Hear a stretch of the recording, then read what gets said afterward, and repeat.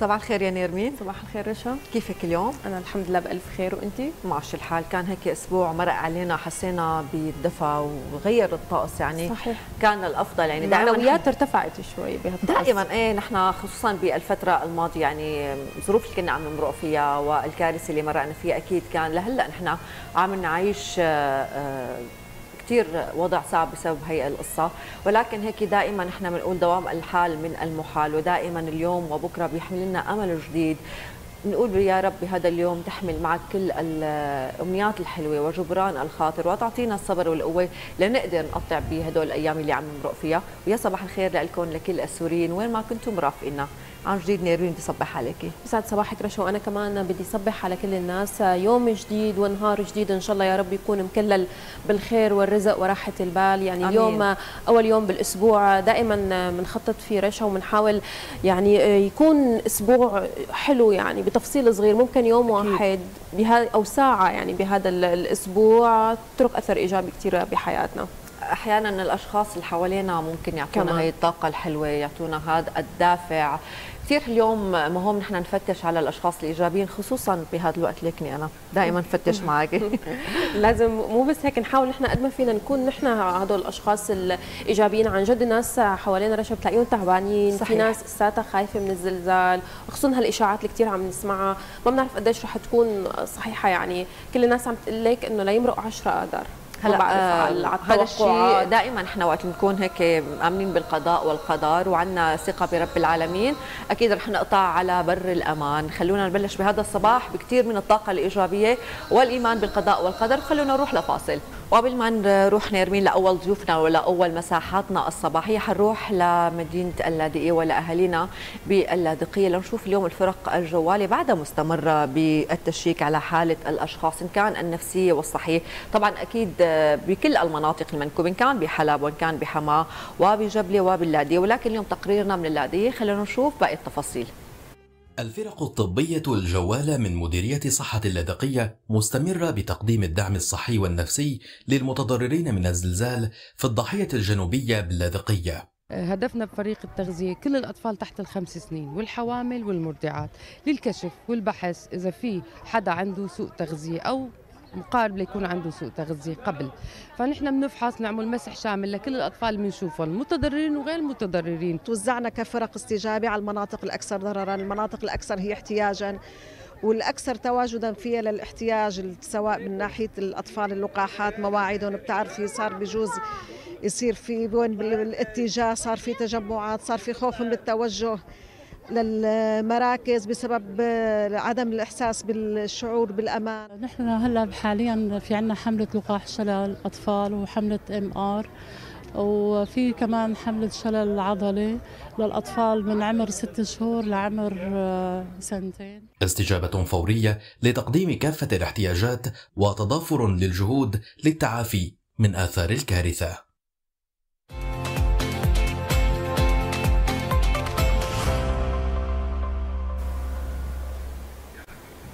وأولى مساحاتنا لليوم رح تكون ضمن عالم الطفولة والمشكلات السلوكية اللي بيعاني منها كثير من الأطفال خلال مراحل حياتهم. بنلاقي آه، رشا في بعض الأهالي عن جد عندهم معاناة آه، في مشاكل معينة عند أطفالهم آه، بتكون بتسبب لهم الأحراج يمكن قدام العالم. حتى بجو البيت ما بيكون مريح. وهالمشكلات يعني هي متعدده أكيد نرمين المشكلات بالسلوك هي خلينا نتفق أول شيء إنه هي منشأة. يعني دائما الأخصائيين بيقولوا إنه هي منشأة من البيت يعني آه، معاملة الأهل كيف آه، اليوم عم آه، يتصرفوا مع الطفل. هذا الشيء بيأثر سلبا أو ايجابيا على الطفل إن كان بالعناد إن كان بالعدوانية مع الأشخاص. اليوم رح نحكي أكثر بهذا التفصيل ونعرف أهم المشكلات السلوكية ضيفتنا لليوم. هي الأخصائية التربوية عزيزة نورس بدي لك يسعد لي صباحك واهلا وسهلا فيكي كيف هلا يسعد صباحك. كنا عم نحكي اليوم عن الطفل ومعاناة الأم. عم نحكي أنا وياكي تحت لون ودائما. طبعا. الأم ونفسيتها المنشا بالبيت. هو خلينا نقول الأساسات الأولى بتربية هذا الطفل وبإنشاء نفسيه كانت سليمة أو كانت آه، غير سليمة؟ خلينا نحكي اليوم عن مفهوم المشكلات النفسية. المشكلات النفسية هي عبارة عن مجموعة من التصرفات أو فينا نقول الأشياء اللي بيقوم فيها الطفل بتكون منافية للعادات وللقيم الاجتماعية. نعم. هي الشغلات اللي بيقوم فيها الطفل بتكرار بتعمل قلق عند الأهل وتوتر وبتعمل كمان قلق عند المربي. يعني لما يكون الطفل عنده مشكلة نفسية أو سلوكية أو تصرف خاطئ فهو ما حيتلقى المعلومات سواء كان بالمدرسة أو التعليمات والتوجيهات والتنبيهات يلي هي بالبيت. واحيانا الأهل بيحسوا مثلا بإحراج إذا طلعوا مكان إذا راحوا عند ضيف إذا اجى لعندهم ضيف وكان عنده ابنهم مشكلة سلوكية فهن دائما بيكونوا آه، قلقانين ومتوترين من هاي المشكلة. من بعض هاي المشكلات السلوكية في عنا العناد في عنا الضرب في عنا الكذب في عنا الخوف في عنا العدوانية في عنا مثلا آه، بعض السلوكيات إنه فرط النشاط قدم الأظافر. آه، هي كلياتها مثل ما قلنا التصرفات. أكيد حتعمل توتر عند الأهل حتعمل قلق حتعمل آه، عدم راحة والاهل دائما بيضلوا ليش ابني عنيد؟ ليش ابني ما بيسمع الكلمة ليش ابني بيخاف ليش عنده أنانية كذا كذا؟ فنحن هي هي تعريف المشكلات السلوكية. تمام. طيب آه، حضرتك ذكرتي بعض المشكلات يلي يمكن هي الشائعة وبيعانوا منها النسبة الأكبر من الأطفال. خلينا نذكر كل مشكلة سلوكية وشو سببها؟ تماما. هلأ آه، نحن إذا قسمنا المشكلات كلياتها تقريبا بتنبع من من طرف آه، يا إما بيكون مشكلة سببها اجتماعي يا بيكون سببها مرضي يا بيكون سببها نفسي يا بيكون سببها بيئي. نبلش بالاجتماعي. آه، هلأ المشكلات الاجتماعية آه، يا أما من من الأهل من البيت نفسه يا أما من المدرسة. أحيانا بنشوف بالبيت مثلا بتقول لك آه، ابني ما كان عنيد بس لما أنا مثلا ولدت أخوه صار عنيد هون المشكلة عرفنا شو سبب. غيري. لما عرفنا السبب نحن بنصير شو بنعمل بنبحث عن السبب مشان نحله. سبب المشكلة مشان نحلها تمام؟ بالمدرسة مثلا هو صار عنيد صار خايف من المدرسة. ليش؟ نبحث ليش بنروح على المدرسة بنلاقي مثلا يا في أستاذ عم يعنفه عم يخانقه يا في طفل عم يضربه يا هو خايف من مثلا المعلومات عم تكون أكبر من ذهنه أكبر من مخه. آه، ما عم يقدر يستوعبها عم يخاف من حصة الإنجليزي عم يخاف من حصة الفرنسي. فهي نحن عرفنا شو سبب الاجتماعي يا من الأسرة يا من المدرسة والمحيط. في عنا آه، سبب مرضي. يعني مثلا في طفل بيكون آه الأهل ما لهم منتبهين هو عنده مشكلة بالسمع. بيقول لك عم نادينا عم نادينا ما عم بترد عليه. بيكون الطفل عنده مشكلة بأذانه أنابيب بيكون في عنده مشكلة آه صحية بيكون مثلا عنده نقص فيتامينات. أحيانا بتعمل هيك شغلات. فنحن كثير مهم نعرف شو هو السبب لنعالج المشكلة. في عندك ممكن بالبيئة آه طفل مثلا المكان اللي هو موجود فيه ما له مرتاح. ما عم ياخذ راحته باللعب مثل ما بنعرف نحن الطفل عنده طاقة وهي الطاقة لازم ينفسها تمام؟ فإذا هو ما كان مرتاح ماله مبسوط ماله عم يحرك ماله عم آه ياخذ حريته فهون آه ممكن يصير عنيد ممكن يصير عدواني ممكن تقول الام عم يخرب عم ينكت عم كذا ما عم يسمع الكلمة تمام؟ ممكن يكون المنشأ كمان من الأساس آه، الأم لما تكون حامل بالطفل فهي آه، بجوز هي تكون متوترة بجوز أكلت زعلة قوية صدمة قوية كان في مشاكل أسرية بينها وبين مثلا الأسرة بين زوجها. فهي هي المشكلات. فنحن لازم نعرف سبب المشكلة لحتى نعالج. طيب آه الشيء اللي ذكرتيه في خلينا نقول في شيء مشترك وعام بين الأطفال وخاصة اليوم عم نحكي بجيل تكنولوجيا يعني اليوم تمام. هاي لحالها عملت خلل بالأسرة يعني. ولكن إذا حبينا هيك نضوي بشكل دقيق على الأعراض اليوم المدرسة والأهل هن تشاركية بهيئة التربية يعني هم يكملوا بعضهم. شو من الأعراض اليوم؟ أنا بتأكد إنه اليوم طفلي عم يعاني من هي المشكلات أو اليوم ممكن المعلمة مثلا تخبر الأهل إنه طفلك عنده مشكلة. تماما. وما هلا للعموميات يعني. صحيح. هلأ بالنسبة آه، بالبيت أنا لما لاقي طفلي إنه هو آه، صار عفوا منك عفوا إنه يبول بالليل هو ما كان وصار بعمر أكبر من هي المرحلة. لما أشوف طفلي صار مثلا عم يقضم أظافره لما أشوف طفلي صار مشتت ما عم يركز لما أشوفه صار مثلا كثير حركة آه، عدواني عم يضرب كل رفقاته عم يخاف كذا فهون بعرف أكيد إنه هو صار عنده مشكلة. بالنسبة للمدرسة كمان الانسه إنه هي مثلا عم تعطي الدرس عم تعطي معلومة. آه، ممكن يكون من الأساس الطفل ما له عم يستوعبها أو بيكون كان آه، مستوعب ومنيح وتمام. صار لاحقا مثل ما قلنا هون بدنا نبحث عن السبب. فهون لما هذا الطفل عم يتصرف تصرفات سواء هي من الأساس موجودة عنده أو ما كانت عنده وصارت عنده فهون بنعرف إنه هو الطفل عنده مشكلة سلوكية. طيب خلينا هيك ننتقل للحل مع كل مشكلة لحالها نكون هيك عم نوصل المعلومه بشكل كثير بسيط للناس. نبدأ مع مشكلة العناد يلي. آه، بيعانوا منها كثير من الأهالي وهذا العناد عم يترجم بكثير طرق؟ منهم مثلا آه، بيكون بده شغلة معينة بالسوق آه، أو بالسوبر ماركت بتلاقي طفل صار بالأرض. بده هي الشغلة يعني بشوف أنا أهالي مثلا كثير بيكونوا بحالة إيه إحراج أو بيكونوا مثلا بزياره بعنده بدهم هي القصة. أحيانا بيكون في عناد بالبيت بيتحول لحالة صريخ وبكاء. فكيف ممكن الأهل يتعاملوا مع حالة أو من المشكلة السلوكية اللي اسمها العناد تماما. هلأ أول شيء نحن ما بدنا نتصرف نفس تصرف الطفل. يعني أنا لما الطفل بده يقول لي بدي شغله لا ما بتاخذها أنا عاند. لما أنا عم عاند هلأ الأهل هن مراية لطفلهم. تمام؟ فأنا لما بدي يكون أنا عم عاند وأنا عم كون عم بحكي بحدة أو بصوت عالي أو بتوتر فأكيد أنا هذا الشيء رح أعكسه على طفلي. فمن الأساس نحن لازم نفهم بالطفل بكل تروي بكل هدوء وما نستنفذ طاقتنا ابدا ابدا. أنا كثير بلاحظ إنه بعض الأمهات إنه لا ما بدها يطلع صوته بالشارع أو بتخجل قدام الجيران أو قدام رفقاتها أو أو لا. هذا انت عم تخلي الطفل يمسكك مثل ما بيقولوا من الايد اللي بتوجعك. طب لا. شو تعمل؟ شو تعمل؟ تتركه وتروح؟ أول شيء لا أنا بهدوء بتروي بفهمه إنه مثلا آه مثلا أنا بده هدية بده لعبة من الطريق تمام؟ أنت عندك آه كثير ألعاب وحاليا ما في مجال إنه أنا أشتري لك آه بكل هدوء بكل ترويه ما عصب ما ما يعني إني ضوج تماما؟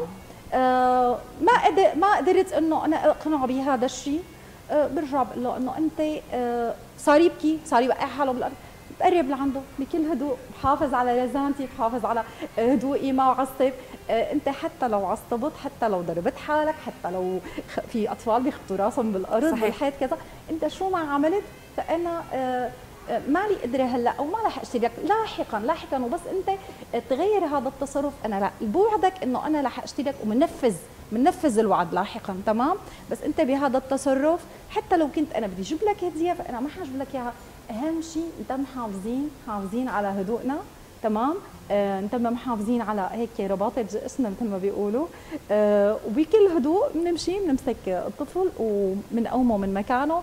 ومعلش إذا أعطينا ضمة إذا حطيناه بحضننا إذا يعني هي شغلات كثير بتهدي الطفل كثير بتخليه يعني ودغري نغير الموضوع. بيقلب نغير الموضوع.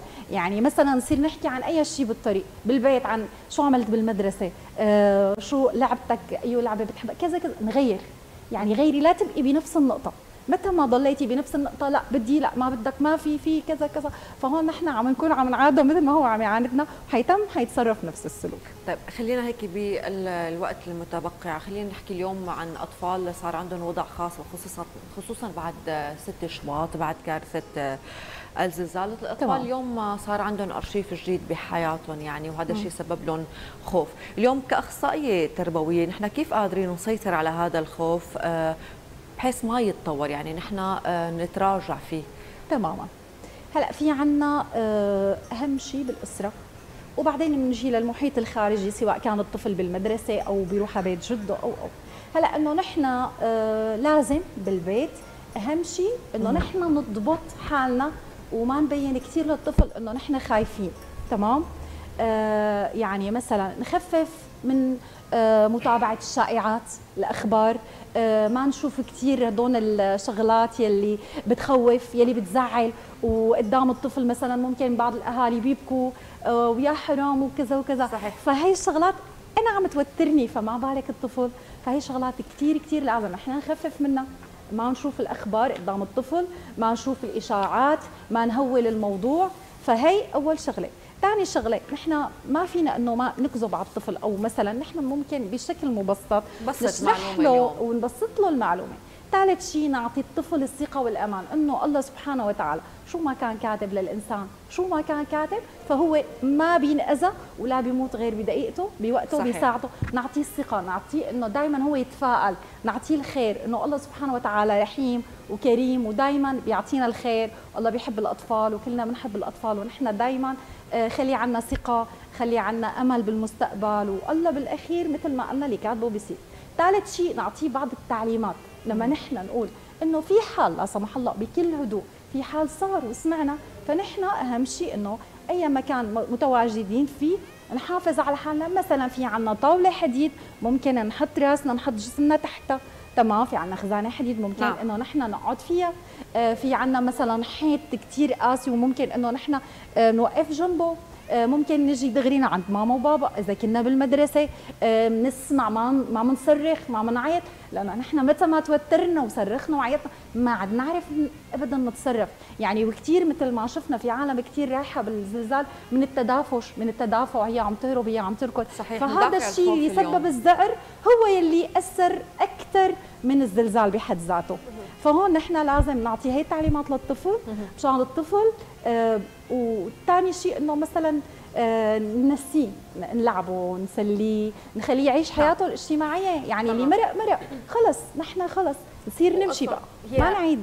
تماما. هي حالة اليوم منهكة للطفل إنه يضل في اجواء الزلزال وترقب حدوث الزلزال. وقديش مهم هذا الحوار اليوم مع هذا الطفل؟ نفهمه هو صحيح زلزال وكارثة طبيعية ولكن ممكن التعامل معه. نشكرك كثير لوجودك معنا ولكل المعلومات اللي قدمتي لنا أهلا وسهلا. شكرا لحضورك اليوم لكل المعلومات. ودائما نحن بنقول بطاقة الحب والعاطفة قادرين نتجاوز. نحن كثير قصص بحياتنا. شكرا لك نحن مكملين نرمين بباقي مساحاتنا الصباحية وقبل ما نروح لفقرتنا الثانية حنروح لغرفة الأخبار.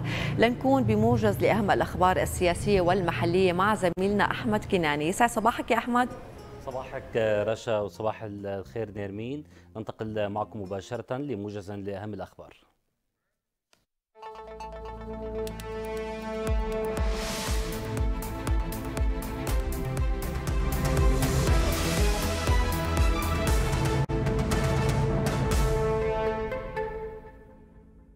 أهلا بكم. حذرت اليونيسف من أن 3.7 مليون طفل في المناطق المتضررة من الزلزال يواجهون أخطارا متزايدة. المديرة التنفيذية لمنظمة اليونيسف للطفولة التابعة للأمم المتحدة كاثرين راسل حذرت في بيان من الوضع في تلك المناطق بسبب الخطر المتزايد للأمراض المعدية التي تنتقل بالتلامس وعبر المياه وعدم وصول العائلات الأكثر هشاشة إلى الخدمات الأساسية مشيرة إلى أن الزلزال حطم أي شعور بالأمان لدى الكثير من الأطفال وكذلك العائلات الأكثر هشاشة. أصيب عدد من الفلسطينيين خلال اقتحام مستوطنين إسرائيليين بحماية من قوات الاحتلال قرية قريوت جنوب مدينة نابلس بالضفة الغربية. وكالة وفا الفلسطينية ذكرت أن مستوطنين اقتحموا القرية بحماية من قوات الاحتلال التي أطلقت الرصاص وقنابل الغاز السامة تجاه الفلسطينيين ما أدى لإصابة عدد منهم بالاختناق. أكد الرئيس الإيراني إبراهيم رئيسي أن أعداء إيران ومن خلال إيجاد قضية تسمم طالبات المدارس يسعون لزرع اليأس بين أبناء شعبها. وأوضح الرئيس في خطاب أمام أهالي بلدة خورموج بمحافظة بوشهر أنه أصدر توجيهات خاصة لوزيري الأمن والداخلية للكشف والمحاسبة حول من يقف وراء هذه الأعمال مشيرا إلى أن العدو يحاول عن طريق الإخلال بالأمن في كل المجالات إثارة أعمال الشغب في البلاد لكنه فشل حتى الآن بفضل تواجد الشعب في الساحة ومواجهته لمخططات العدو. أكد وزير الخارجية الروسي سيرجي لافروف أن الدول الغربية تمارس الضغوط على مختلف الدول من أجل تأييد فرض عقوبات على روسيا مشيرا إلى أن سياسة بلاده في مجال الطاقة ستكون نحو الشركاء الموثوق بهم. وقال لافروف خلال كلمة له في مؤتمر حوار رايسينا بالعاصمة الهندية نيودلهي إن المعاناة التي تعيشها شعوب العالم ليس لها علاقة بتحرك روسيا في أوكرانيا وإنما هي جراء العقوبات غير الشرعية التي فرضها الغرب على روسيا.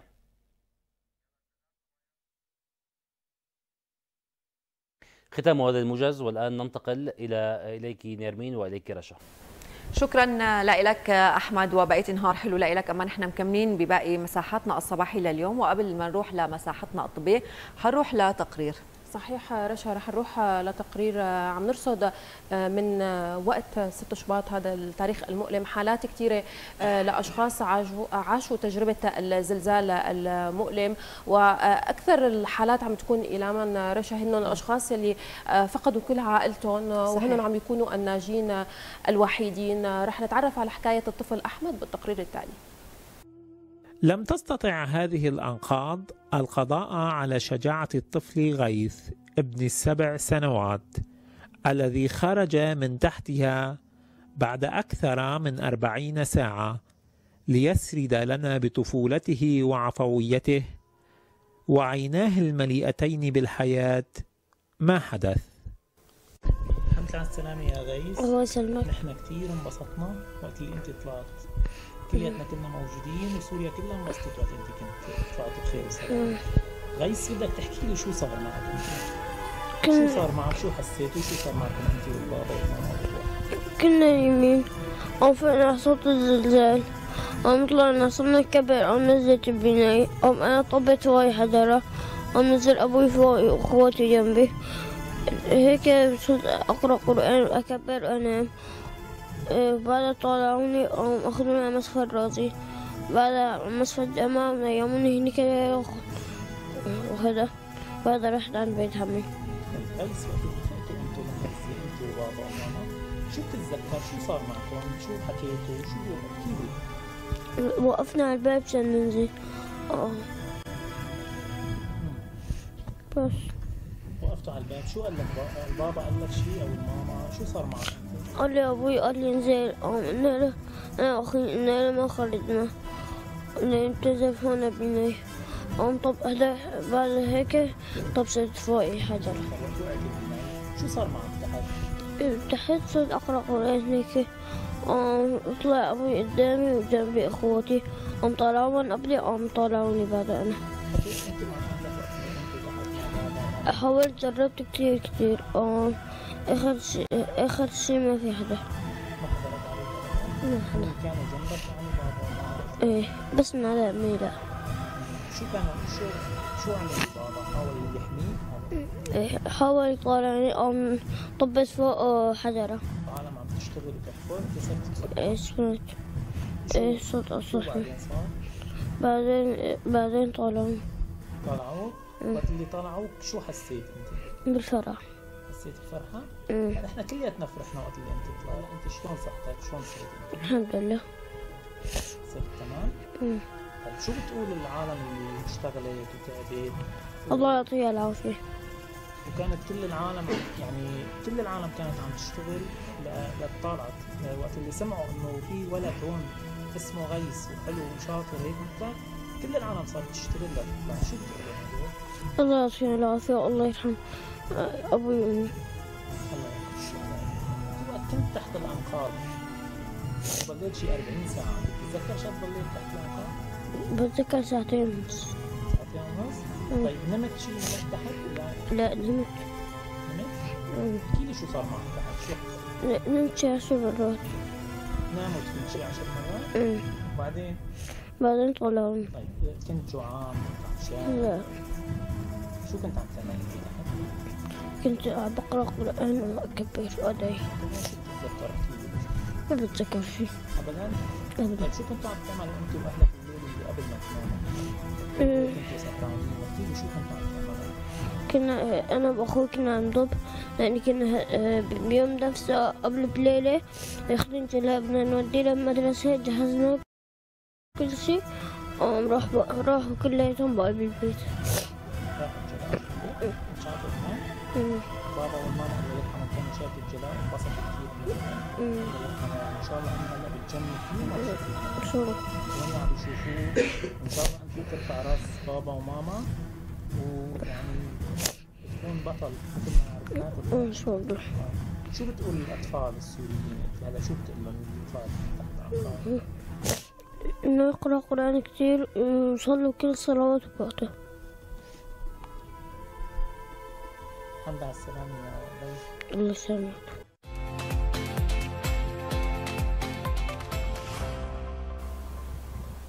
قديش اليوم رشا هي الحالات موجعة وقديش موجع التجربه اللي مر فيها الطفل غيث. أكيد. هو كان معنا بحلب ولكن أيضا بالمحافظات السورية في كثير من التجارب القاسية. إن شاء الله يا رب هيك نتمنى يبعث له أيام حلوة لغيث. ما في شيء يمكن بيعوض اللي راح وخصوصا لما نحكي نحن عن الأهل. ولكن يا رب هيك يلاقي الاحتضان المناسب ويبعث له أحلى الأيام. إن شاء الله نيرمين لهذا الطفل ولا غيره من الأطفال بالمحافظات السورية. للأسف شفنا نماذج وصور كانت موجعة بالنسبة لنا.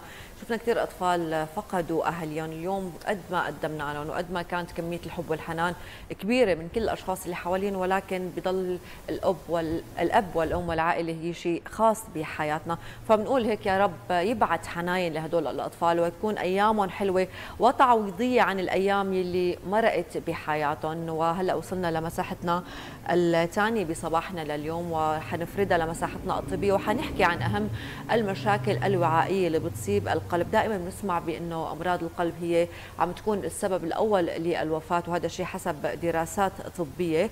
عم بيكون المعدل كثير مرتفع بسبب الأمراض القلبية. اليوم رح هيك نفرد المساحة أكثر لنتعرف شو هي أهم الأمراض الوعائية.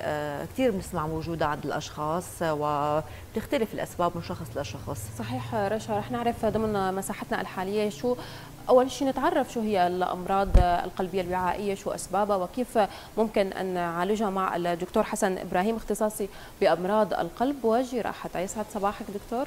أهلا يسعد صباحكم وصباح الخير لكم ولكل الأخوة المشاهدين ولكل بلدنا. صباح الخير حكيم واهلا وسهلا بحضرتك. اليوم عم نحكي عن نقطة صحة بالجسم الإنسان وهو خلينا نقول الدينيمو تبع الإنسان يعني وللأسف دراسات كثير أكدت إنه أسباب الوفاة عم تكون هي سبب الأمراض القلبية بمختلف أنواع، اليوم هيك حبينا نفرض هي المساحة للمشاكل الوعائيه والأمراض الوعائيه، اليوم هسه حبينا نبسط المعلومة شو هي هي المشكلات وكيف ممكن نحن بنقدر نوصفها. آه لا شك إنه في آه عنا بالقلب أوعية.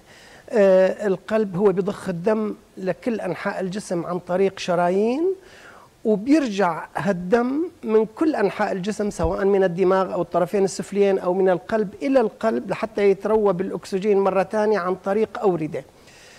فنحن في عنا أمراض بتصيب الشرايين وفي عنا أمراض بتصيب الأوردة. خلينا نتغاضى شوي عن أمراض الأوردة واللي هي قليلة نسبيا واللي أهمها هو الخثار يلي بيصيب الطرفين السفليين وهذا الخثار اللي بيصير عادة نتيجة الاستلقاء المديد أو ظروف معينة بيكون في تأهب للخثار. وهذا خطورته تكمن في أنه إذا انطلقت خثرة من الأوردة إلى القلب رح تساوي لنا صمة رئوية والصمة الرئوية غالبا إذا سكرت الشريان الرئوي وكانت كبيرة ممكن تودي بحياة المريض. لكن الأهم من هالشيء هو الأمراض اللي بتصيب الشرايين. شو هي الأمراض اللي بتصيب الشرايين أو الأوعية الشريانية؟ الأوعية الشريانية هي اللي بتنقل الدم وبتنقل الأكسجين سواء للدماغ أو للقلب أو للطرفين السفليين أو للكليتين. شو هي هالأمراض يلي بتصيب هي الأوعية وهالشرايين؟ أو شو هو المرض الأساسي؟ بصراحة المرض الأساسي هو تصلب الشرايين.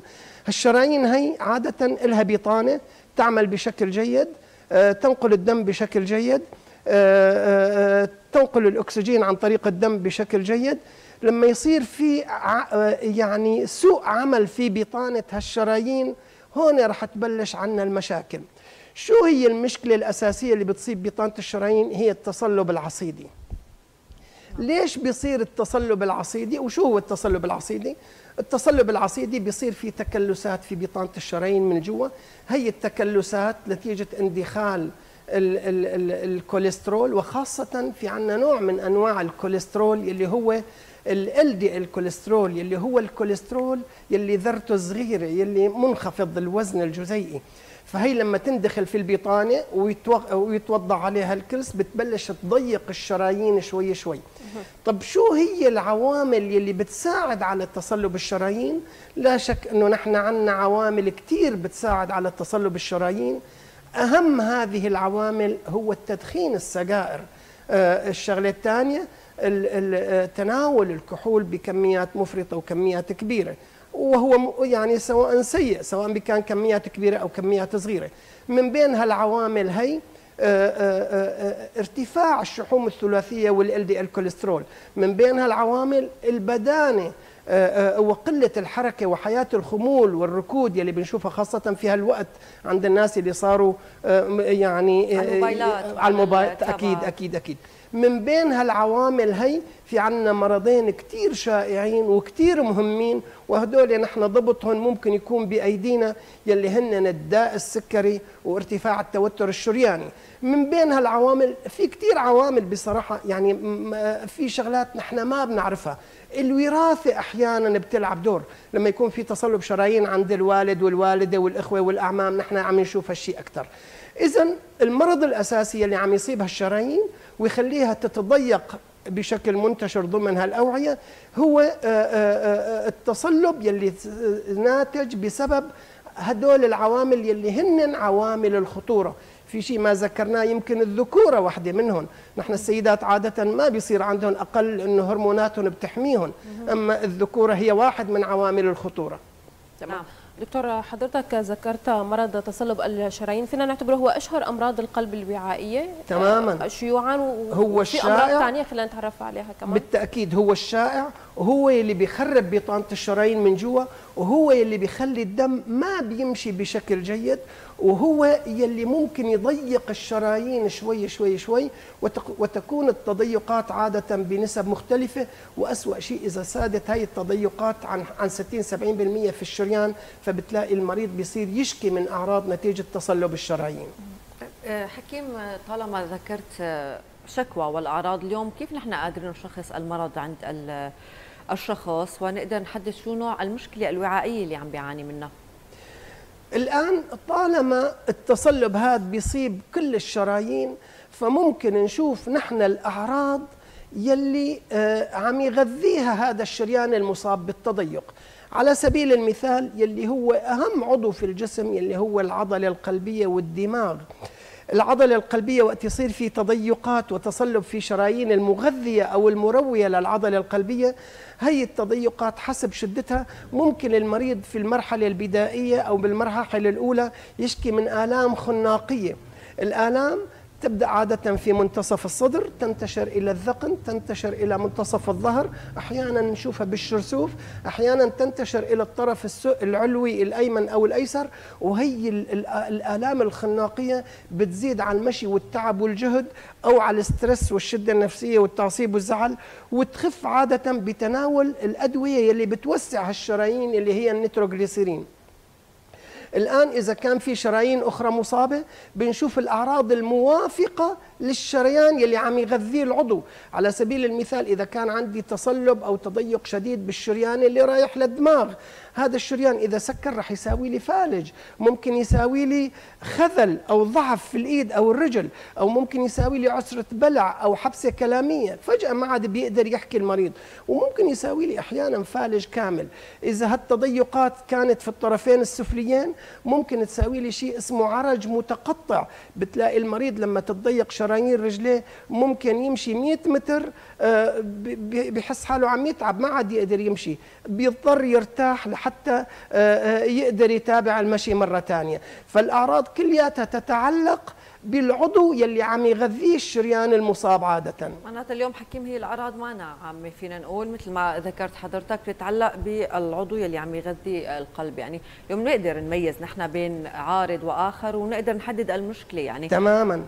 تماما. آه، دكتور خلينا نحكي اليوم عن آه، كيف ممكن كشف المرض؟ هل هو آه، يعني الفحص السريري ومتابعه الأعراض؟ ممكن نحن نكشف حالة هي التضيقات أو تصلب الشرايين؟ أم في تحاليل معينة؟ أم موضوع القسطره القلبية اللي نعرفه يعني بيكشف كل الأزيات الموجودة بالقلب. الآن لحتى نحن نتأكد أول شيء التشخيص لا يكون لا شك إنه الأعراض السريرية هي اللي راح توجهنا لحتى شو الاستقصاءات يلي لازم نساويها. فنحن إذا كان على سبيل المثال في تضيقات في شرايين العضلة القلبية آه، وكانت الآلام خناقية ولا تعنوا على العلاج الدوائي وقتها نحن لازم نلجأ إلى القسطرة القلبية لحتى نصور هالشرايين ونشوف يعني مدى شدة التضيقات وشو طريقة علاجها. هلا الشرايين اللي رايحة للدماغ أكيد الإيكو رح يساعدنا في تضيقات الشرايين السباتية وحتى في تضيقات الأبهر وشرايين الطرفين السفليين. لكن بالنتيجة التشخيص الدقيق رح يكون بتصوير هذه الشرايين سواء آه، آه، بحقن المادة الظليلة ضمن هذه الشرايين أو سواء بالتصوير الطبقي المحوري أو الرنين المغناطيسي أو التصوير الطبقي المحوري متعدد الشرائح لحتى يفرجينا وين موجودة هالتضيقات؟ وهو التصوير رح يساعدنا في طريقة حلها. سواء كانت في الطرفين السفليين في الحرقوفيين هي الشرايين ممكن تتوسع بشبكات. أحيانا قد نلجأ للعمل الجراحي لحتى نبدل هالشرايين. إذا كانت بالشرايين السباتية اللي رايحة للدماغ هي ممكن تتوسع أيضا بشبكات وممكن نحن آه، نلجأ للجراحة لتبديل هذه الشرايين. أما شرايين العضلة القلبية وهي آه، يعني الشغلة الأهم فالتصوير هو اللي راح يفرز لنا ثلاث حالات. الحالة الأولانية إذا كانت التضيقات خفيفة وكان في بطء جريان ضمن هالشرايين وكانت الشرايين عصيدية بشدة وكانت بطانة هالشرايين مريضة وغير قابلة يعني للجراحة أو للشبكات فهدول عادة بنحطهم على علاج دوائي وهي الشرايين لها منظر معين وخاصة المرضى اللي مصابين بالداء السكري نعم. أو المرضى اللي عندهم إل دي إل كوليسترول عالي أو المرضى اللي هن بيتناولوا كحول آه، بكميات كبيرة أحيانا بيكون التضيقات ما هي يعني آه، تضيقات ما هي كثيره ممكن يكون تضيق واحد ومحدد وفي شريان معين فهذا ممكن وكان التضيق شديد فهذا ممكن إصلاحه بشبكة. نحن ممكن ننفخ شبكة في مكان آه، آه، هذا الشريان والشبكة بتكون محمولة على بالون بنسحب البالون وبتفتح الشبكة وبيفتح الشريان وبتروح الأعراض نهائيا. أحيانا تكون التضيقات شديدة جدا والتضيقات متعددة وتشمل شرايين كبيرة وخاصة الجذع اللي بيغذي البطين الأيسر اللي هو شريان الحياة. في هالحالة نحن مضطرين نلجأ للعمل الجراحي القلب المفتوح نعم. ونحاول نبدل كل هالشرايين بشريان الثدي الباطن وناخذ أوردة من الرجل على شكل مجازات ناخذها من الأبهر لهالشرايين هي المتضيقة لحتى نقي المريض من آه، الموت المفاجئ ونرجع نروح يعني نلغي له هالاعراض أو تروح هالاعراض كلياتها هي. دائما حكيم بنقول الوقاية خير من العلاج ودائما الفحص السريري للأشخاص اللي هن عرضة للإصابة بهذا المرض مفروض يكون دوري بكل ست شهور واحد يقدر يشيك على وضعه. ذكرت حضرتك أعراض ولكن اليوم هيك كرمال نفصل أكثر بالقصة. في شيء تشابه بين هذا المرض ومرض آخر؟ يعني نحن بنسمع إنه الكولون العصبي ممكن يحمل بعض الأعراض. آه، يفكر شخص إنه هو عنده مشكلة بالقلب عنده ضغط على القلب نفسه ضيق ما عم يقدر وقت اللي بيمشي بيتعب يعني هون هدول الاختلاطات ممكن يكون في تشابه بالقصة؟ أكيد. لكن آه، نحن فينا نميز هلأ لو رحنا للألم الصدري فينا نميز الألم الصدري القلبي من الآلام غير القلبية بصفات الألم. الألم الصدري الخناقي هو ألم وصفي. ألم يزداد بالجهد يخف بالراحة وتناول النيتروغليسيرين اللي حكينا عليه. ألم احتشاء العضلة القلبية هو ألم شديد في منتصف الصدر ينتشر إلى الذقن للطرف العلوي الأيسر. الألم يستمر أكثر من نصف ساعة. يترافق الألم أحيانا بتعرق شديد بغثيان آه، بنوب غشي فقد وعي. ألم وصفي تمام المريض بتلاقيه عم تلعي نفسه عم يتعرق. مبين الألم القلبي. هذا أعراض جلطة يعني. هي هي أعراض الجلطة وتسكير الشريان والاحتشاء. هذا الألم يجب دائما نحن كل ألم صدري نحمله على محمل الجد لأنه الخطورة على الحياة تكمن في هذا الألم. لكن هذا الألم يمكن تمييزه بسهولة عن الأسباب الأخرى للألم الصدري. نحن ممكن نشوف الألم الصدري على سبيل المثال في الآلام الضلعية القصية. هي آلام واضحة. بتلاقي المريض لما ياخذ نفس أو يحرك إيده أو يرفع إيده بتلاقي بيزيد الألم على حركات جدار الصدر. الألم ما بيشير بإيده بيشير بإصبعه بيقول لك يا دكتور عندي نغزة بصدري هون. هذا قولا واحدا ما هو ألم قلبي. في عندنا آلام قد تنشأ من الرئة. الناس اللي عندهم على سبيل المثال انصباب جنب وعندهم سعال بتلاقي هدول مبين أنه هذا الألم هو من منشأ من الرئتين والجنب وليس له علاقة بالقلب. في عندنا آلام أحيانا قد تكون بتشنج المعدة أو الكولون. بتلاقيها عم تطلع لفوق على الصدر وعم تساوينا. هذا ما هو ألم قلبي. أحيانا في عندنا الناس اللي عندهم بحص بالمرارة فعلى أكل الدهون والدسم والزفر يصير عندهم ألم في المراق الأيمن ينتشر إلى الكتف الأيمن أو إلى منتصف الظهر أو بزنر المريض. تلاقي هذا الألم مبين بيزيد على أكل الدهون والدسم والزفر وقت نشيل المرارة بيروح الألم. ففي أسباب كثير للألم الصدري على سبيل المثال يعني يمكن تمييزها بسهولة من خلال صفات الألم عن الألم القلبي. لكن على كل الأحوال أنا التوصية اللي بدي أقولها أنه كل ألم صدري كل ألم من السرة إلى الذقن يجب دائما نحمله محمل الجد وما نستهتر فيه ونراجع الطبيب لحتى نتأكد أنه هذا. هل هو ألم قلبي ولا لا؟ مجرد ما عرفت أنه ألم غير قلبي أنا ما عاد خاف على المريض. صحيح. لكن الخطورة على الحياة تكمن في الألم القلبي المنشأ. دكتور للأسف عم نشوف كثير حالات مؤخرا اليوم عن وفيات للشباب. نحن بنسميه الموت المفاجئ ويمكن بيكون له علاقة ببعض أمراض القلب. خلينا نحكي عن أمراض القلب الوعائية. إلى يعني إلى أسباب بحالات الموت الفجائي خصوصا نحن هون عم نحكي عن فئة الشباب. في الواقع يعني كانت الأمراض القلبية وأمراض القلب الوعائية تشاهد عند الناس الكبار بالعمر اللي عمرهم فوق ال 50 60 70 سنة بسبب تصلب الشرايين بسبب نمط الحياة بسبب عوامل الخطورة اللي حكيناهم قبل شوي. بسبب تطور الحياة وبسبب آه، آه، سوء التغذية اللي صرنا عم نشوفه بسبب آه، التسمم اللي صرنا عم نشوفه والعادات السيئة مثل تناول الكحول والتدخين اللي اللي صارت أعمار صغيرة عم تدخن. بسبب هالشيء هذا صرنا نشوف تصلب الشرايين وتصلب الأوعية والأمراض القلبية الوعائية صرنا عم نشوفها عند الصغار بالعمر فصارت هالعوامل هي كلياتها تؤدي لي إلى تضيقات في الشرايين. هالتضيقات هي على أقل توتر أو شدة نفسية أو تعصيب ممكن تساوي لي أزمة قلبية وتروحه للمريض. صحيح. صرنا نشوف الوفيات بسبب الاحتشاءات بأعمار صغيرة بسبب تصلب الشرايين وهالمرض يلي صرنا نشوفه نتيجة تعقيدات الحياة وتطور الحياة وتطور سوء التغذية وتناول الأطعمة الغير صحية. فنحن صرنا نشوفها هي بأعمار صغيرة صرنا نشوفها بأعمار بال20 وال25 وال30 سنة. هلأ بجوز نحن نشوف وفيات بأعمار أقل من منشأ قلبي لكن هي الوفيات قد لا تكون بسبب الأمراض القلب الوعائية. قد تكون بسبب مرض موجود بالأساس عند الطفل. على سبيل المثال طفل عنده آه، تشوه قلبي آه، آه، من الطفولة مثل أمراض القلب الولادية. بجوز يكون في عندنا تضيق أبهري بجوز يكون عندنا اعتلال عضلة قلبية ضخامي ساد. على جهد شديد جهد شديد بتلاقي الطفل فجأة وقف قلبه مات. فهدول أو بسبب هرموني أو بسبب تسممات معينة. قد تكون هذه ليست بأمراض قلب وعائية لكن أمراض القلب الوعائية صرنا في في في العصر الحديث عم نشوفها في أعمار متدنية جدا بسبب العوامل اللي ذكرناها. دكتور حسن دائما نحن بنقول إنه آه، هذا الفحص السريري آه، بكل فترة يمكن بيوفر رحلة علاج كبيرة ان كان على المريض وإن كان على الحكيم.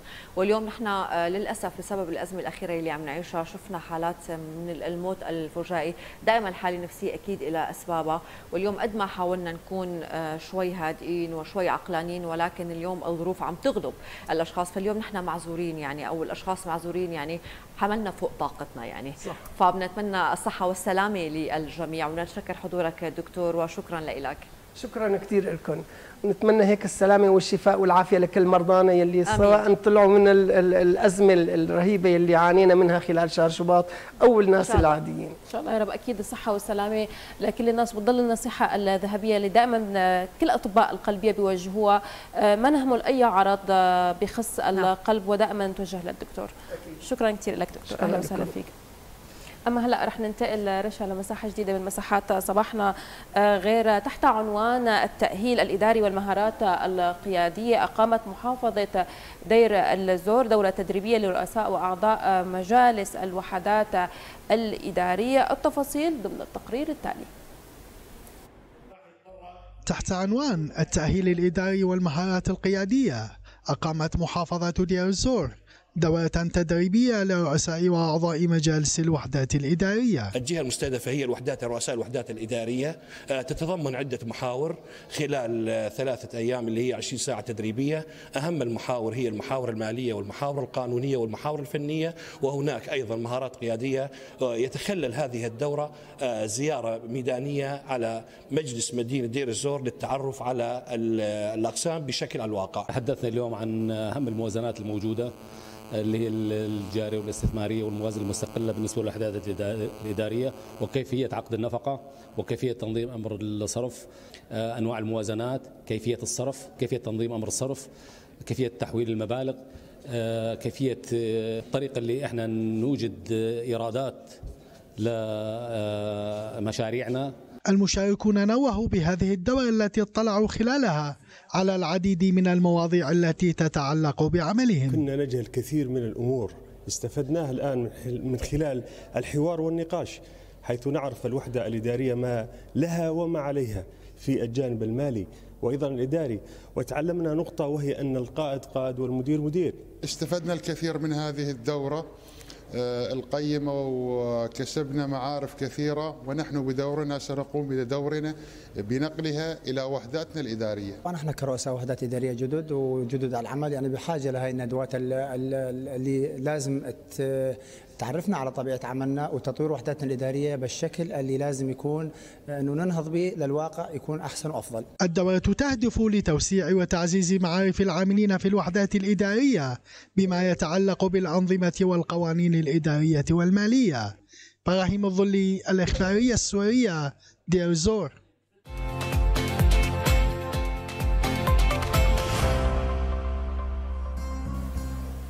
بلشنا صباحنا نيربين وحكينا عن ضرورة الإيجابية بحياتنا وقديش نحن مهم اليوم آه، نبحث عن الأشخاص الإيجابيين بحياتنا. هدول الأشخاص اللي دائما بيثنوا على جهودنا ولو كانت شيء بسيط يعني دائما هدول الأشخاص بيعطونا دفع للأمام. الأشخاص اللي دائما ما بيستهونوا بالقدرات اللي عندنا الأشخاص اللي دائما بيقولوا لنا برافو وللأمام. يعني قديش اليوم نحن بنفتقد هدول الأشخاص بحياتنا؟ صحيح رشا. يمكن طبيعة الحياة اللي عم نعيشها والضغوط عم تخلي أغلب الأشخاص المحيطين فينا يكونوا سلبيين. ونحن ما فينا ننكر أحيانا كثير بنتحول لاشخاص سلبيين. آه، ويعني دائما لما نحكي عن السلبية آه، دائما كلمة القلق بتترافق آه، مع هي الكلمة. وهذا الشيء ما له كلام عبث قديش بنشوف هذا الشيء عم ينعكس على أجسادنا على صحتنا على نفسيتنا حتى على قدرتنا على أداء مهامنا اليومية.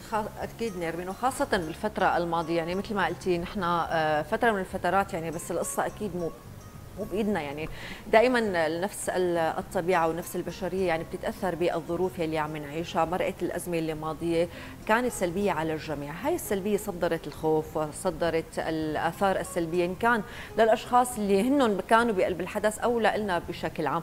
قد إيه اليوم السلبية بتأثر على مسار الحياة وبتأثر على كل الأهداف اللي نحن ممكن نرسمها بحياتنا ونروح للفشل؟ هي الفشل يعني لحالها كلمة كثير بشعة وكثير صعبة وكثير نحن اليوم لازم نبعد عنها ولو بهدول الأشخاص الإيجابيين بالنصائح الحلوة بحياتنا.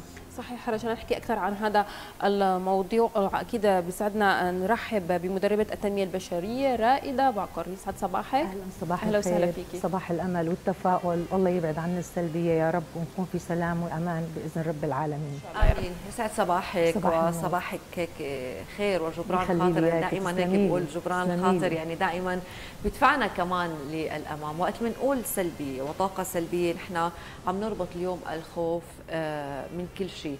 وقت الإنسان بينصاب بالخوف هلأ الخوف نحن بنقول هو شغلة فطرية وطبيعية ولكن في حدود بتعدى الطبيعة وبيروح للتأثير السلبي على المستقبل وعلى الشخص نفسه وعلى الأشخاص المحيطين. قد إيه اليوم التأثير الخوف والسلبية مع بعض؟ آه، طبعا أنا بدي وجه شغلة كثير مهمة إنه آه، أعرف مصدر هذه الأفكار السلبية ليه عم بيصير عندي هي الأفكار السلبية؟ أعرف مصدرها أعرف نوعيتها نمطها.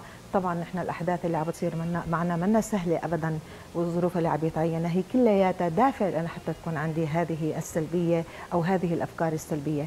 في قانون دائما بيقول آه، ما تكرر يقرر عليك. فأنا وقت دائما بعيش هذه الصورة المأساوية وهذه المعاناة وهذه هذه المشاهدات اللي دائما عم نشوفها على التلفزيون والأحداث اللي عم تكون والألم كلياته عم بسبب لنا دوافع. فنحن لازم نعرف هذا التأثير إن كان تأثير داخلي أو كان تأثير خارجي. أمرار كثيرة بيكون التأثير نتيجة هذه الدوافع السلبية هي النابع من ذاتك أنت عايشة بالماضي نتيجة الماضي اللي أنت عايشتيه.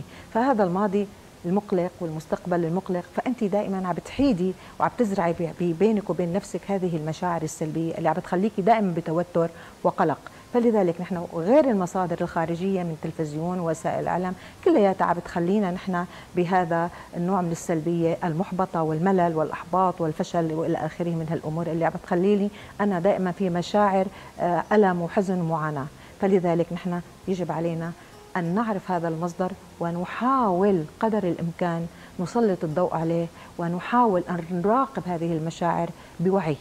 لأنه عدم الوعي بصير عندي كبت وقت بصير عندي كبت لهذه المشاعر بصير عندي مرض عضوي وجسدي فبيؤدي إلى آه، أشياء كثيرة بجسد الإنسان. فنحن لازم طرد هذه آه، المشاعر السلبية كما قلتي حضرتك لأنه كثير بتأثر علينا. كيف أنا بدي أطلع من هي المشاعر السلبية؟ اللي عم بشوفها التنفس. معلش التنفس ثم التنفس. وقت أنا بتنفس وبعمل استرخاء لهذه الضوابط النفسية اللي عم بتصير معي أكيد هذا الشيء رح يساعدني أضبط نفسي أضبط مشاعري بالتالي. فأنا وقت بتنفس عم بخليها المشاعر تطلع. أكيد نحن الأفكار بتولد لدينا مشاعر والمشاعر بتولد لنا سلوكيات. فكما تفكر طبيعي أكيد. ما بصير. خاصة ضمن الظرف اللي عم نعيشه تماما. يعني إحنا مو طبيعي إنه ما نتأثر. تماما. لازم نتأثر. وطبيعي نتأثر. بس يكون في توازن. الحياة بدها توازن. معلش بدي ألفت شغلك. الشيء اللي بتركزي عليه بيزداد. كل ما زدتي انت مشاعر سلبية صحيح. كل ما زاد هذا الشيء طيب صار معنا هاي الظروف. أنا بقول لك كثير قاسية ومنها سهلة آه وكثير صعبة. لكن أنا إذا بدي ضلني أقعد نوح وجوح وأبكي أنا عبزله بالمزيد لا. خليني أقعد. حول هذه الطاقة أو هي الطاقة السلبية إلى طاقة إيجابية طاقة محبة طاقة امتنان طاقة شكر طاقة افهم الرسالة منا. طبعا نحن لازم نكون واعيين تماما لهالمشاعر هي. هي المشاعر اتقبلها بالدرجة الأولى ما قاومها. لأنه إذا أنا قاومتها بترجع تنعاد مرة ثانية. اتعلم منها درس. مشان ما يتكرر الدرس. وقت بقاومها رح تضلها تجيني وتتكرر لحتى أنا أتحرر منها بشكل كامل. إذا اتقبلها اتعلم منها. سامح وقت بسامح بتخف مشاعر البغض والألم والحزن. تالي أخ شيء امتن لها في رسالة من هي وراء المشاعر السلبية. ما أجت هيك. مشاعر السلبية أمرار كثيرة بتنقلب لإيجابية بتخليني غير بحياتي. معناتها لازم أقوم بتغيير ما. احتوي هذا الشعور. شوف شو التغيير اللي لازم أعمله أنا حتى أطلع منه وأكون أنا بسلام مع نفسي. آه عدم الوعي لهذا المشاعر كارثة. عدم القدرة على معرفة حقيقة الكامنة جواتك كارثة. نحن بنلاحظ حتى الأطفال هلأ بهذا الوضع بتوتر وبقلق. هلأ بده يصير هيك هلأ بده يصير ما بعرف. نحن لازم نخليهم يطلعوا من هذا التوتر سواء كانوا كبار أو صغار نعم. خصوصا الطفل نعلمه إنه يعمل ارتخاء. بدل ما أنا أحط له مناظر تلفزيون وأقعد أنا أبكي و... لا تعال نعمل استرخاء نحط موسيقى نطلق محبة امتنان هدوء للشيء اللي عم يحصل لحتى ما يزداد بحياتنا. غير أفكارك تتغير حياتك يتغير الكون. وقت انت بترتاحي بيرتاح الكون معك. وقت انت بتكوني بسلام رح نكون كلياتنا بسلام. أما نقعد نحن نزيد المأساة أكيد هذا منه صح ابدا.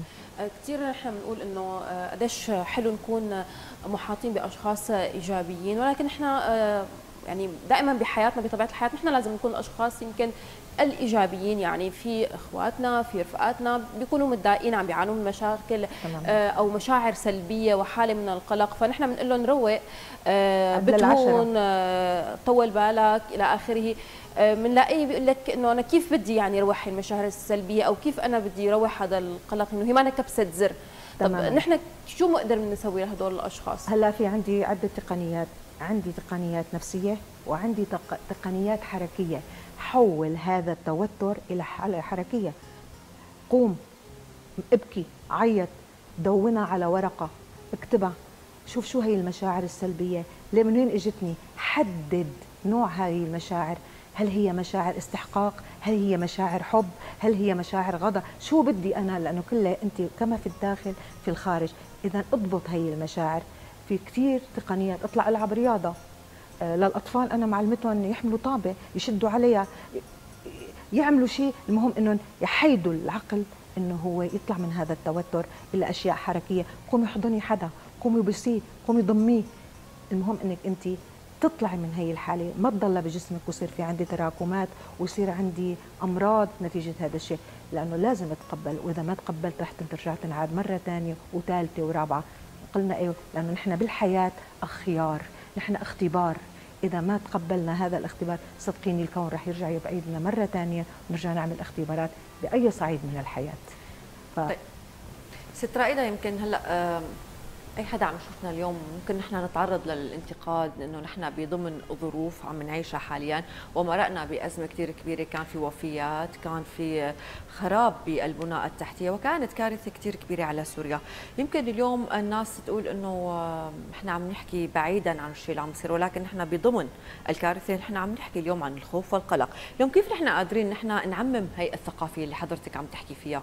يعني اليوم نحن كيف أنا كيف أنا قادرة اليوم أشخاص آه، عايشين القلق بشكل كان مباشر وعايشين الخوف وأثر هذا الشيء على شخصيتهم وحياتهم ونفسيتهم ومحيطهم وكل شيء بحياتهم. تماما. أنا كيف اليوم بدي أقول له اقعد اتنفس واسمع موسيقى آه، فرغ نحن دائما نحن الشعب العربي دائما آه، عندنا الكبت أساسيات بحياتنا يعني.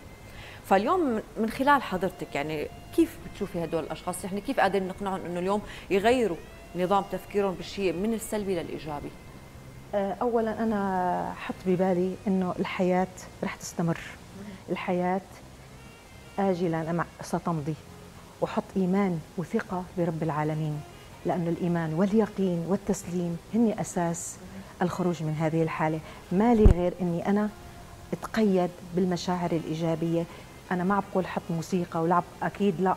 ومنا صعبة منا سهلة أبدا علي على هذا هي الاسى هذا اللي ما بيحس فيه غير صاحبه مثل ما بيقول ابدا لكن لازم يكون عندي تسليم. وبعدني عم لك لازم يكون تسليم لازم يكون عندي نوع من اليقين.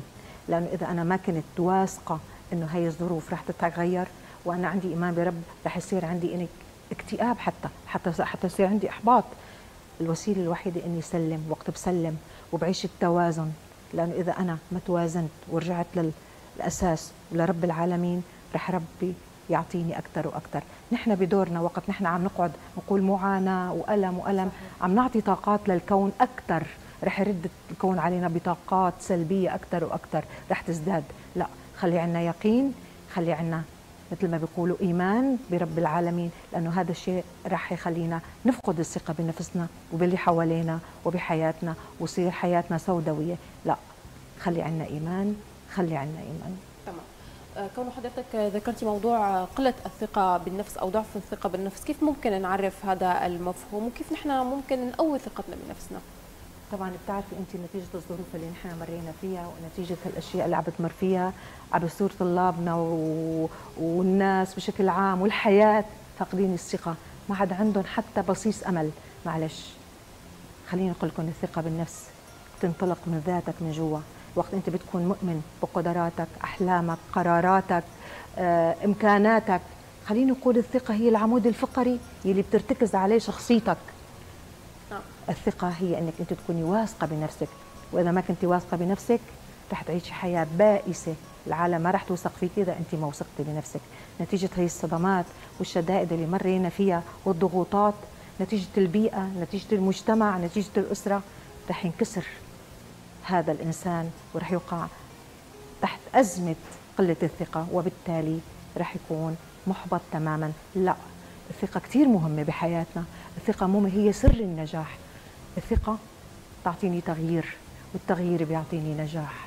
وقت بكون أنا عندي عزيمة وعندي إصرار مهما كانت الظروف. طلع من مثل ما بيقولوا طلع من منطقة الراحة. ما حط كل شيء على الظروف. إذا أنت بدك تستنى الظروف لتتغير ما رح تتغير. غير حتى تتغير الحياة. بس تغير أنت من جوا رح ينعكس هذا الشيء لبرا. خليني أغير أنا من جوا. خليني أعيد هي الثقة لنفسي من جديد. أكيد في تقنيات كثيرة أنا بقدر أنا أقدمها لنفسي. أول شيء امنح محبة لذاتي. وقت بمنح محبة لذاتي وبعرف نقاط ضعفي وبعرف نقاط قوتي وبقويها وبغير هذا الحديث السلبي. والله أنا محبط والله أنا ما رح يطلع معي وأنا هي الصورة الذاتية اللي يوميا عم نعيشها. يلا ما بدنا ننجح ما بدنا ندرس ما بدنا. هي كلها صورة ذاتية عم يزداد الكون وبيبعث لك أكثر وأكثر وأكثر منا خلينا نحسن. عداك عن هيك إنه دائما عندنا تأثير بالآخرين. طب ليش أنا عم بيصير معي أنا هيك؟ ليش غيري ما عم بيصير عم قارن حالي. هذا كلياته بضعف الثقة بالنفس وبيأثر علي. آه بتأثر بكلام العالم. والله ليك هلا صار يفهم صار يدرس صار كذا. أنا ما بدي أتأثر اللي الإنسان اللي لازم اتاثر فيه هو أنا واللي لازم قارن فيه نفسي هو أنا. حط حلم هيك بسيط كافئ حالي غير شكلي. أك... يعني أقل شيء بقدر بعمله غير شكلي غير من مظهري. العب ابتسم الابتسامه لحالها حتى لو ما بتقدري ابتسمي ابتسمي. خلي عندي أمل الأمل هو أهم شيء خليني أحط محبتي مع محبتك خلينا نطلق. لهالكون محبة سلام وثقة وأمان. دائما مفهوم المحبة هو المفهوم العفوي والفطري الموجود بحياتنا واللي دائما بنحاول هيك نصدروه للأشخاص اللي حوالينا ودائما الأشخاص اللي حوالينا هن العامل الأساسي بكسب هي الثقة وبهدم هي الثقة. ودائما نحن بنقول التراكمات اللي مرقنا فيها بحياتنا هل نحن اليوم قادرين نفرغها بالشكل الصح نتجاوزها وممكن هي آه، أهم مشاكلنا النفسية إنه نحن في تراكمات بحياتنا ولكن نحن اليوم ما قدرنا نتخلص منها. فبتلاقي في أشخاص نايمين بيقولوا لك أنا بقمة سعادتي أنا حزين. فنفسيا بيقولوا لك إيه تراكمات في تراكمات أنت ما قدرتي تتعاملي معها صح؟ فنحن اليوم هيك آه، من خلال هذا الكلام الحلو اللي سمعناه من حضرتك بنتمنى يكون هيك وجهنا رسالة لكل الأشخاص اللي عم تشوفنا إنه دائما بالصبر والإيمان والتسليم والثقة بالنفس نحن قادرين نتجاوز ودائما بطاقة الحب نحن قادرين أيضا نتجاوز هي المحنة اللي عم نعيشها وشفنا كيف كان الحب على الأرض السوريه بالأيام الماضية؟ كيف اليوم؟ كيف كانوا إيد وحدة؟ وكيف صدرنا هي الطاقة وهذا الحب؟ شكرا اليوم لحضورك وشكرا شكرا لكل المعلومات اللي ذكرتيها. طاقة امتنان تكفي وطاقة محبة لكم. شكرا لك شكرا كثير لك واهلا وسهلا فيكي.